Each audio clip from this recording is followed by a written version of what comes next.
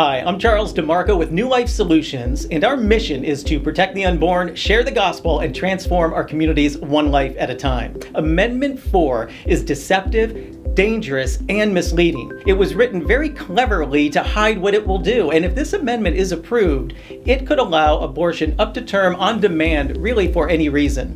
And it also would remove the current parental consent before a minor child has an abortion. This is not healthcare. The language that is used is very vague, with no definitions or parameters, and in fact, terms like viability, patient's health, as determined by the patient's healthcare provider, can mean something very different depending on the outcomes.